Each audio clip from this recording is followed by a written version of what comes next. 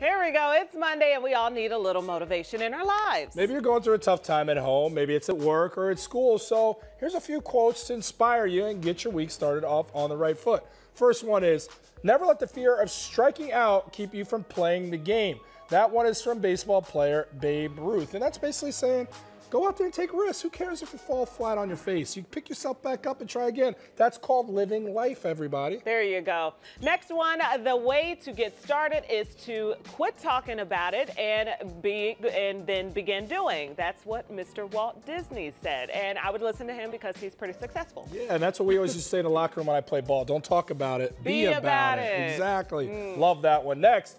Failure is a great teacher, and if you are open to it, every mistake has a lesson to offer. That's from Chicago gal. You may have heard of her. It doesn't need a last name. It's just Oprah.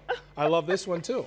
yeah, Always sure. learn from your mistakes, right? That's what they say is is uh, the best form of learning is to try it out, mm-hmm. fail, learn from it, and do better the and next move time. on. Exactly. Do better the next time. All right, last one. Eventually, all the pieces fall into place. Until then, laugh at the confusion, live for the moment, and know that everything happens for a reason. From the iconic movie Sex and the okay, City, the iconic so series. We're getting motivated from Sex and the City here now, too. You know, you can find positive things in all places. There you go. Absolutely. And I do think that's a good one. I think that's a good one for uh, relationships. I think that's a great relationship advice. Yeah. So sometimes just laugh and don't sweat the small stuff. It'll get you through. Yeah. Yeah. We like that. All right, if you have a special quote that helps get you through the week, tweet us at the Jam TV Show and share it with us. We'd love to hear from you guys. And uh, that's your Motivational Monday for today.